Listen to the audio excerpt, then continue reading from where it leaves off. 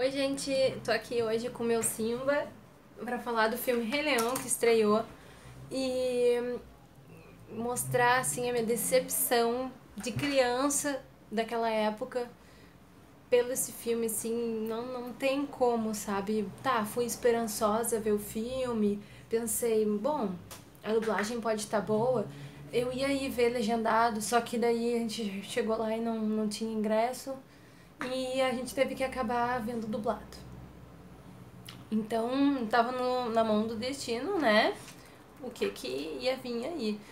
E tá assistindo o filme, começou. Eu não sou muito fã de live action, eu gosto mesmo. É, se o filme me marcou, é isso que me importa. Então eu gosto muito do.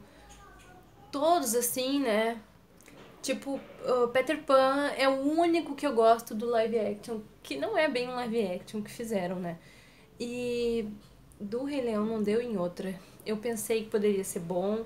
Eu, o meu favorito é o Scar e eles, tudo bem, deixaram bem realista o Scar, mas ele ficou muito feio. Ele perdeu, pelo menos com a dublagem brasileira, aquela aquela ironia que ele fala, aquela, aquele charme que ele tem. Perdeu completamente, assim, não parece o mesmo leão. Todo esculhambado. Então aquilo ali meio que me deixou assim para baixo porque os um, personagens que tinham essa coisa mais assim irônica, mais sarcástica, perdeu, perdeu tudo, assim, a uma das hienas também, me fugiu o nome dela, a fêmea, aquela, ela também, ela com uma voz super sexy, não tem nada a ver com a original, que era a Up Goldberg até que fazia, tudo bem legendado, mas então assim, os azul também não a dublagem assim pecou, pecou muito, principalmente com a Nala e o Simba. Esses dois foi assim, o do Mufasa até que dá para enganar, o do Scar, a voz é parecida, mas o jeito que ele fala não. Agora, desses dois, os principais ficaram horríveis. A Isa, a cantora Isa, ficou com um sotaque carioca. Cantou bem, óbvio, mas ficou com um sotaque carioca. E o Ícaro, o Ícaro Silva, acho que é Silva, que ganhou o quadro lá de cantor do Faustão e tal.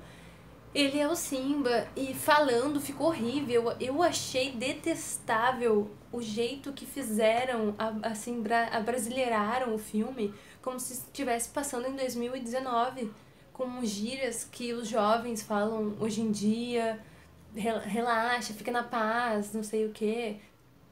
Os leões não falam assim.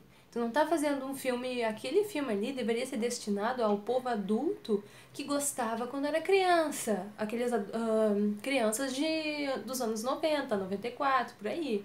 Não adolescentes de hoje em dia, falando com aquelas gírias de hoje em dia. E assim, em vez de. Tudo bem, eles quiseram fazer uma coisa diferente, mas eles mudaram o roteiro com palavras sinônimas.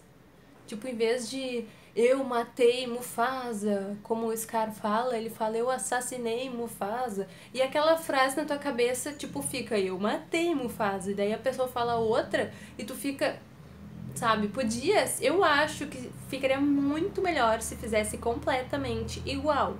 Porque daí daria uma coisa assim de vida real para esses fãs que já são adquiridos, porque o filme ficou assim rápido, teoricamente, porque o filme do desenho acho que tem quase duas horas e ele fica bastante em cada cena, acontece, desenvolve.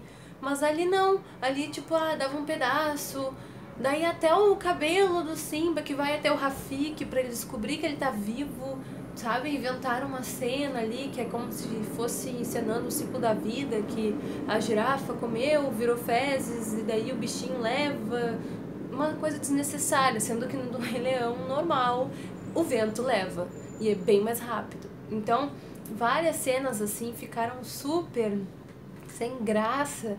As hienas, assim, o Ed, que ele faz tipo uma hiena meio retardada, porque ele não fala, ele só babucia. Até falaram que o cara realmente só babuceava, ele não precisava falar.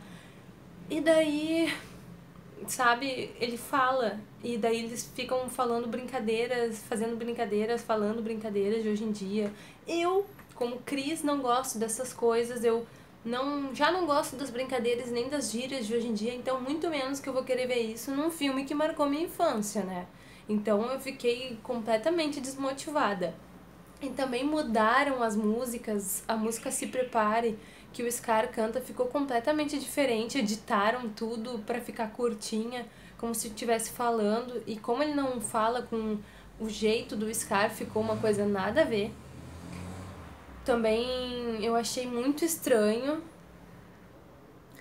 E também uma coisa que eu achei assim um ponto positivo é que mostraram a história que para quem é fã de verdade pesquisou que sabe que o Scar sempre foi apaixonado pela Sarabi que era a mulher do Mufasa. Então isso eles dão um pouquinho mais assim.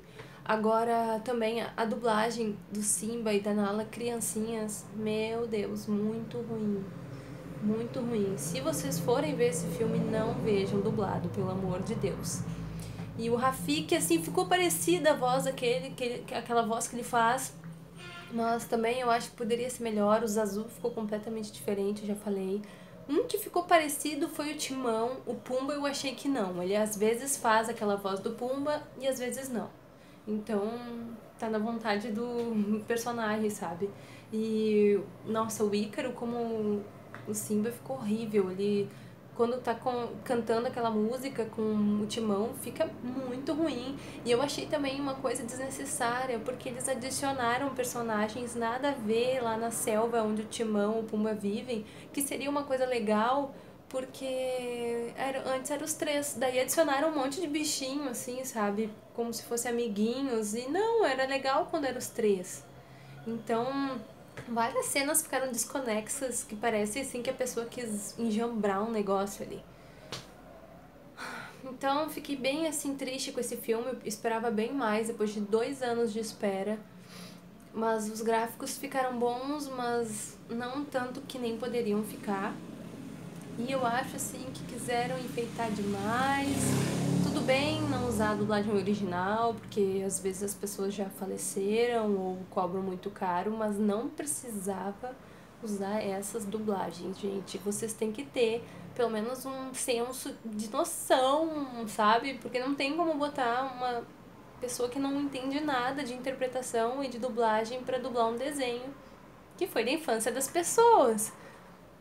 Tá, então é isso que eu tinha pra falar do Rei Leão. Quem gostar, me diz aí, porque eu realmente quero saber quem é fã de verdade e gostou.